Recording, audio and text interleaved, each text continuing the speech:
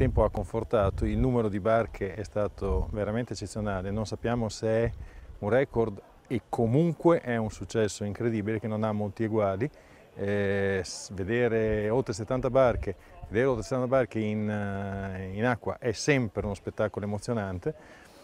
La correttezza è stata totale, stamattina c'è stato un incontro fra gli armatori e eh, la federazione Luvai che si è svolto, naturalmente ce l'aspettavamo, con alcune osservazioni ma in assoluta democrazia e crediamo che il poter far vedere in occasioni così ufficiali la presenza di FIV all'interno di queste manifestazioni fosse importante, non è usuale.